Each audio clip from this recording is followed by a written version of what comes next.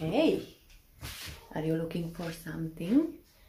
Good, because in this tutorial I'm gonna show you step by step how to paint this awesome coffee or tea mug with the dot mandala.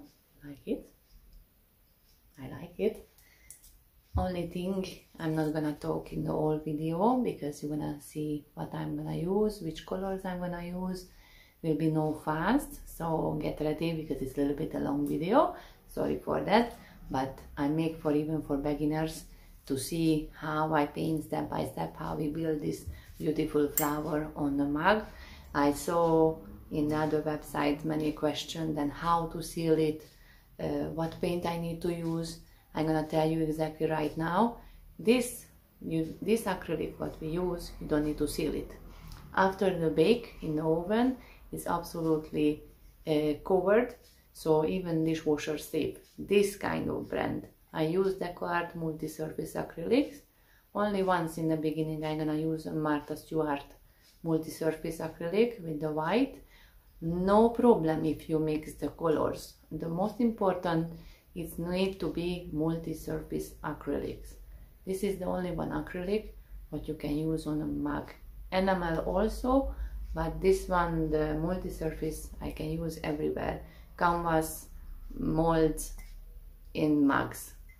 And the other very important thing I don't use a chalk pencil but I use a liquid chalk pencil which is this is a best to use on the mugs why after when you make a lines and you paint it on it's gonna get dry but very easy to remove after when your acrylic is also completely dry before you put it in the oven. So i hope you enjoy this video. Let's get started